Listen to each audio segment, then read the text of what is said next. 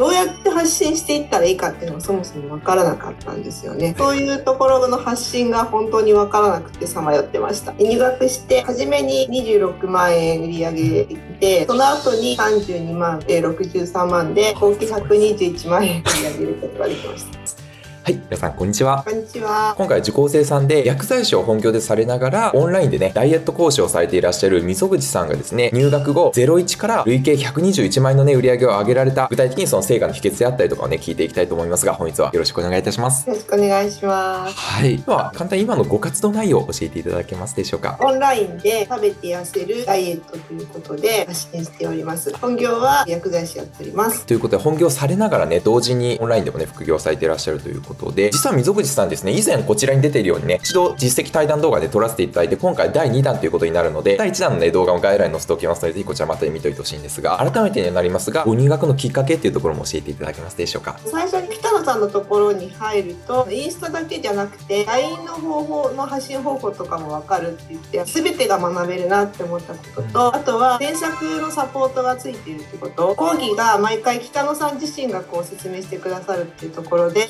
たいことをすぐに聞けるし、っていうことですごく北野さんだったと思って信頼度が上がったっていうところですね。ありがとうございます。では、ご入学前と後の変化というところもね、聞いていきたいと思うんですが、改めてご入学前の状況っていうのはどういった感じだったんでしょうか？本業で最初は薬剤師やってたんですけどその SNS でこのダイエットを発信していくにあたりどうやって発信していったらいいかっていうのがそもそも分からなかったんですよね。こう薬剤師やってるとそっちだと患者さんにすぐさまこう答えを言ってっていう形だったんですけど、SNS って興味を引いてって言って最後に答えがあるかないかっていうような持ってき方っていうのが真逆だったのでそういうところの発信が本当に分からなくてさまよってました。そこからご入学後のちょっと変化っていうところも教えていただけますでしょうか？入学して初めに26万円売り上げてその後に32万と63万で合計121万円売り上げることができました。はい。すごいですね。いわゆる本当に学科入学いただいてから01で売り上げをね、7桁まで上げられたということで、その他ね、実際この SNS だったりとか、フォロワー数の変化というところも教えていただけますでしょうか？まず発信をしていく方法が分かってノウハウを学ぶことで北野さんのところだとテンプレートとかもあるのでそういうのを参考にしながらどういう風な組み立て方で発信していったらいいのかなっていうのが分かったので発信方法にブレがなくなった時ですねあと作業時間が格段に早くなって一人でやってた時よりもキャンバとか使い方が早くなったから半分ぐらいになったんですよねすごいですね。時間がね、短縮されたということで。あとは発信内容の軸ができたことで全体の軸がぶれずに発信できるようになったっていうことあとフォロワー数と LINE も増えましたね素晴らしい。今、フォロワー数っていうと、どれぐらいまで増えましたまあ、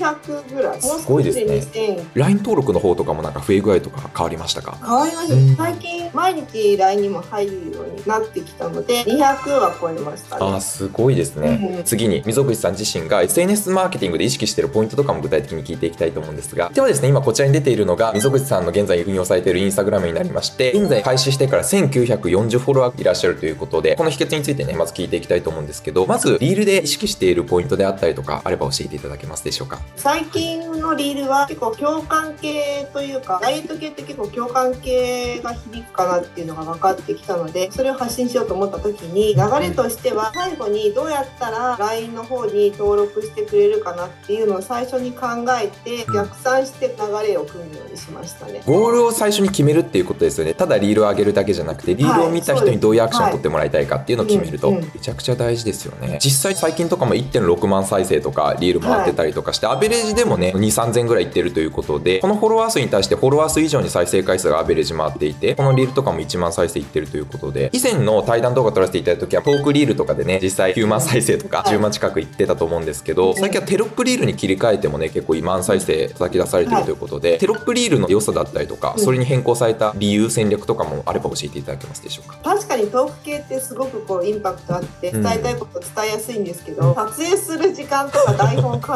えることを考えるとどテロップ系の方が日々の動画を作って取りだめしといてそれを組み立ててで後からその台本を時間ある時作ってっていうといつでもどこでもできるっていうのはあるんですよね。古典ではテロップ系でも1万とかそういうふうにいけるなっていうのは分かってきたのでその点はすごくいいかなと思います。特に溝口さんの場合も本当に週5とかで薬剤師で本業でお仕事をされてでその帰ってきた合間の時間でねこうインスタをされていらっしゃるわけなので、はい、いや時間なくてインスタできないんですって方でたまにいらっしゃるんですけどお忙しい溝口さんでもねこれからやっぱ工夫されれば運用できていらっしゃるので、うん、本当にもう希望の星っていうねありがとうございます。と思いますけど、はい、ちなみにこのリールが伸びたことでリスト数 LINE の登録数ってやっぱ変わりましたか、うん、はい変わりましたね、うん、LINE の最後の誘導を考えてからリールの最後の流れを LINE に持っていくってことを考えてから作れるようにしたらコメント数も増えたしそれでの LINE に入るっていうのも増えたのでだいたい今毎日1人2人は入るようになってこの LINE 登録をね、毎日1人2人安定して入れ続けるっていうのがどれぐらい難しいかっていうことはね、すでにインスタやられた方だったらね、ご存知だと思うんですけど、はい、少ししっかりクリアされてらっしゃると。あとですね、溝口さんのインスタグラム、直近の遡っていくと、6万再生とか8万再生、2万再生、やはり万再生をね、結構連発されていて、基本的にテロップでね、伸ばされているんですけど、こちら41万再生っていう風にね、伸びてる、めちゃくちゃ爆伸びしてるリールがあるんですが、皆さんもね、40万再生っていうのはめちゃくちゃすごい憧れるって思う方もいらっしゃると思うんですけど、実際この40万再生バズったリールに関して、溝口さんどうですか？一般的には結構すごいい伸びてよかったねって思われると思うんですけどインスタってバズらせすぎてもよくないっていうところあるじゃないですか、うん、この辺りの見解とかって水口さんどうでしょうか？この41万再生はこれもバズり狙いで作ったんですけどこのポイントとしてはお役立ち系をガッて出すけれども、うん、1回じゃ見切れないように7秒とかであえて短くしたんですよ。でも見る人は多分見切れないからもう1回見るだろうなっていう内容を画面に出して再生回数を上げるために狙ったのでバズりとしてはいくだろうと狙ったのがこの作りなんですね。ただ確かにそれでフォロワー数も増えたけれども、うん、目的とする LINE 登録には至らなかったっていうのがあるんですよ。あるあるですよね。ただバズらせればいいかっていうと必ずしも集客につながるかどうかはまた別の話っていうところで、はい、逆にじゃあその集客につながる集客リールを作るために大事だと思うポイントって溝口さん的には何だと思いますか、やっぱり先ほどもお話ししましたけど、動線を考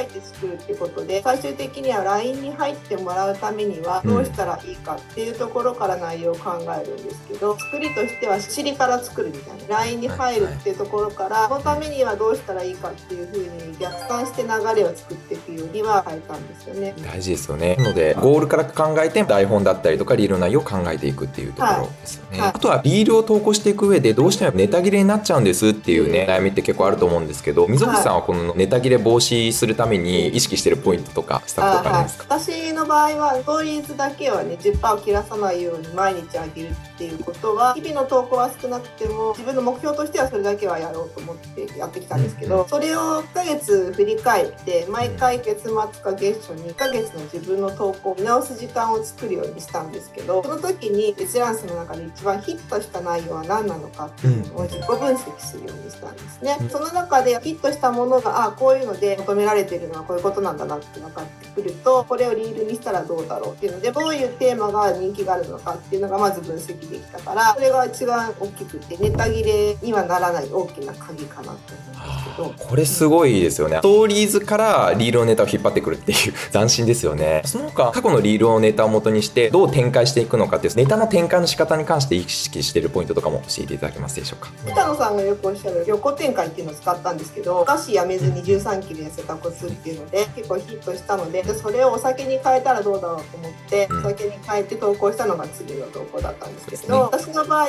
お菓子はヒットするけどお酒やめずに痩せたっていう方こんなにヒットしたいんだなっていうのがこの投稿の差で分かりました。横展開していくことでもちろんネタ切れも防げるし逆にお酒はあまり需要ないけどお菓子の方が需要あったなっていうこういうね、うん、AB テストをすることもできたりしますので、はい、困った時はこの横展開っていうね切り口を変えて同じパターンで試してみるっていうのもね結構おすすめだったりしますね。では次ですねインスタライブで意識してるポイントなどもあれば教えていただけますでしょうか？ライブでは最終的に3つのゴールを決めててそれによって流れを考えてるんですけど1つ目は勉強会に誘導するためにどういう内容で発信しようかなっていうふうに考える。2つ目はプレゼント誘導で LINE に入ってくださいっていうような流れを考える。3つ目は単純に楽しんでもらいたいっていうのと認知拡大を狙ってコラボライブをする、うん、ありがとうございます。最終的な着地点とかをねゴールをしっかりと明確にされてね、はい、やられていらっしゃるというところでこのライブっていうのはねやった方がやっぱ売り上げ上がるよっていうのは僕も前から結構お伝えしてることなんですけど、ライブはね最低も月2回以上はねできれば毎週でききるのがベストではあるんですけど、やっていただくと少ないフォロワー数でもねより大きな売り上げを上げていくことができるというところになりますね。ね結局ライブで入ってくれたんですよみんな。購入者のお客様はってことですよね。そうそうそう3人ともそうだ何で知ったんですかって聞いたらインスタはもちろんだけどライブを聞いててくれたみたいでやっぱすごい説明が分かりやすかったっていうのが多いんですよね。ライブだと相互方向でねやり取りもできるし溝口さん自身の価値観とかリールとかストーリーでは伝えきれない部分までね伝わってそこからまあファンになっていただけたりするので、はい、制約率がものすごく上がりました。大体商品購入いただくお客様って大体ライブ見てるってあるあるですよ、うん、ライブはね皆さんもぜひね取り組んでいただければなというふうに思いますね、うん、次ですね LINE の配信で意識されてるポイントなどもあれば教えていただけますでしょうか？LINE の配信で意識してることとしてはいかに端的に伝えるかっていうところで考えたんですけど北野さんとかに検索していただいたので端的で見やすい文章をどうやって作るかっていうのはすごく学びましたありがとうございます。LINE の配信だと結構長文で書く人って未だに結構多いですけど、うん、短くした方が見られるっていうね。あとは入ってからはまずローンチ動画を見てもらいたいっていうところがあるので大変でしたけど 最初にローンチ動画作って本当に良かったな。あそこから結構勉強会に参加したいですとかっていうことも多いのでそれは価値あるものになってます。ローンチ動画本当に作るだけでもそこからね半自動的に申し込みがやっぱ入りやすくなるのでそれは絶対作った方がいいですよね。そういったテンプレとかもね、はい、うちの学科でお伝えしてるんですけども。では商品提案で意識されているポイントもあれば教えていただけますでしょうか？ポイントとしては3つあって1つ目がお客様の悩みの訴求。これについては痩せたいんですって言った時。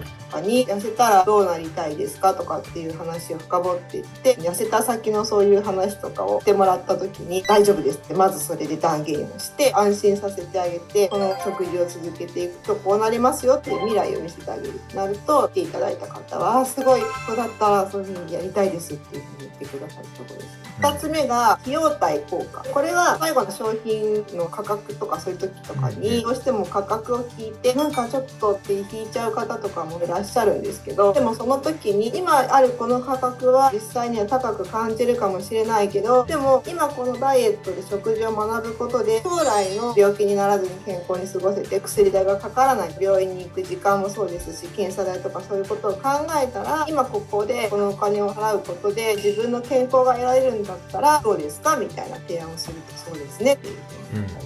溝口さんのサービスを購入いただくことでそういった他の医療費よりもね実際安く済むのであれば費用対効果的に言ったらそっちの方がやっぱお得だよねっていうところやっぱ視覚化してね説明して差し上げることでお客様もねそういう価値を感じていただきやすいというか。3つ目が顧客インサイト。これはお悩みを伺ってる時に大体その人が言う言葉ってこの人言ってる言葉多いなっていうのはなんとなく聞いてるとあるんですよね、うん、そういうのとかを聞いてた時に実は思ってた先にもっと望みはあなたはこうなんじゃないですかっていうことを言葉葉から拾って提案してで相手が「えでも実際そうかもしれない」ってなって向こうがびっくりしたっていうのがあるとそれが結構心に響いて「是非お願いします」っていうような「お願いします」っていう形での契約につながることが多いですね。なるほど。いわゆるこう顧客インサイトって本心では思ってるけど無意識レベルで求めていた本当の欲求っていうところをついてあげるっていうところですよね、はい、自分ってこういうこと本当は望んでたんだっていう。そうそう。それをこっちから提案するとやっぱりすごい相手の方は心に響くみたいで気づかせてもらいましたっていうふうに言ってくださいました。本当に今おっしゃられてたの商品提案の本当に鉄則というかね悩みの訴求や価値をしっかり伝えていくっていうことや、うん、お客様の無意識の欲求っていうところをしっかりとついていくっていうところですよね、うん、次ですねご入学して改めて良かったことや弊社学科のおすすめポイントなどあれば教えていただけますでしょうか？投稿して毎回それを個別にサポートしてくれるっていうのがすごく心強くて投稿すると大体その翌日とかに添削が返ってくるんで自分も記憶が新しいうちに書こうかっていうふうに分かるからすぐ次に活かせるってこととあとはそれとは別に北野さんに直接 LINE で相談もできるのでそれもすごく私は心の頼りでしたよね。とうございます。あと良かったのは月1のズーム交流会とかオフ会って言って VIP コースの場合はねオフ会があるんですあの塾生さんとかと話できると SNS でいうと業界いろいろ分野があるじゃないですか。私はダイエットだけど普通に SNS の発信してる人もいれば心の相談じゃないメンタルカウンセラーの方とかコーチングやってる方とかいろんな方いますよね。いろんな視野の持ってる人と交わることができて自分もそういう広い視野を持つことができるし人と知り合うとその人たちからの自分のアカウントの変わってきてよかったよねとかそういうのも聞けるので自分としては学びの場としてその知り合いが増えたのもすごく嬉しいです。確かに横のつながりもね同時に作っていけるというところはね大きいですよね、あとコラボライブする相手が見つかったりとか。そうですねございます。では、最後ですね、この動画を見てくださっている方や、弊社学科入学をご検討されている方に向けて、最後一言メッセージがあれば、お言葉いただけますでしょうか。もし SNS をやるにあたって、やろうかやらないか迷っているんだとしたら、迷っている時間はもったいないと思います。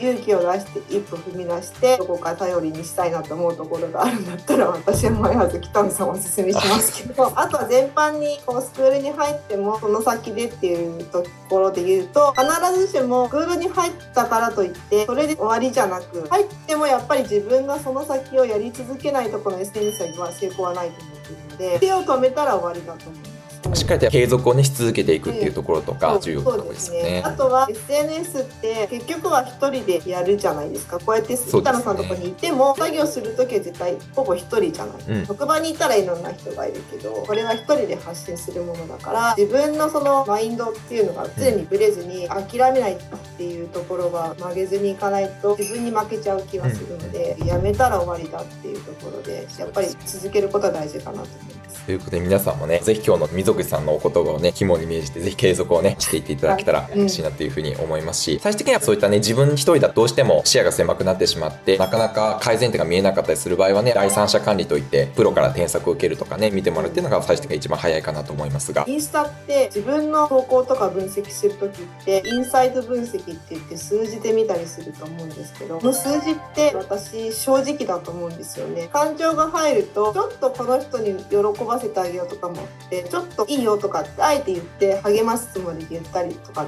て実際あったりするじゃないですか、うん、でも SNS のインサイト分析ってそういう感情がある意味入らないからよかったらいいしダメだったらダメでそれがダイレクトに数字に現れるからその数字を素直に読み取って何が良かったのか何がいけなかったのかっていうのが分析はしやすいし分かりやすいっていうところがあるので、うん、SNS って正直だなって思いました。ああなるほどですね。だからこそ逆に言うと客観的視点もね持ちつつ運用していくってことが大事っていうことですよね、うん。はい、間違いないですよね、感覚でやるなってことですよね。感覚もそうだけど、はい、正直さをこうプラスに変えて自分の動向として参考にしていくのがすごくいいかなって思います、ね、現状しっかりと把握した上で改善していくということですよね、はい、ありがとうございます。ということで今回ですね溝口さんと対談ね統計させていただきましたが最後溝口さんのインスタグラムとそして LINE 公式アカウントもね概要欄に貼っておりますのでこちらもね勉強になりますのでぜひ皆さんチェックしていただけたらと思うんですが溝口さんの LINE の配信とかねローンチとかも非常に上手に作られておりますのでこちらもねぜひ登録してチェックしてみていただきたいなと思いますが今は LINE 登録いただくとなんとプレゼントがねもらえるということで こちらもちょっとご説明いただいてもよろしいでしょうか。はい、はい、ぜひプレゼントご用意してまして新しいプレゼントをまた徐々に作成していきますので楽しみにしていただけたらいいかなと思います。はい、はい、ありがとうございます。ではね概要欄からぜひチェックしてみてください、はい、ということで皆さんね本日は最後までご視聴いただきまして本当にありがとうございました。ありがとうございましたはい、今回も動画を最後にご視聴いただき、本当にありがとうございました。最後に私から特別なご案内があります。下の概要欄からこちらに出てる私の LINE 公式アカウントに登録いただきますと、僕自身が今まで4年間で累計14億円売り上げてきた SNS マーケの本質をまとめたこちらに出てる豪華11大特典っていうのをプレゼントさせていただいております。それでは一つずつ詳しく見ていきます。1つ目、毎月2000万売れる SNS× ライブ動画マーケティング徹底解説講義動画。2つ目、月1000万売れる SNS 集客改善徹底解説動画講義。